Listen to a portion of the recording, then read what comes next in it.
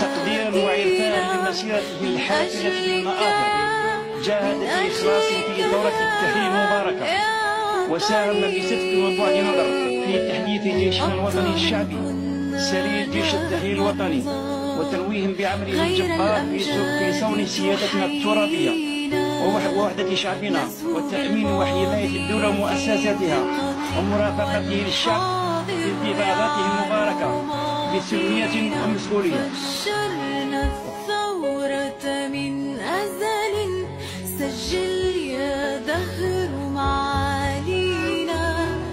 نصر الأكرم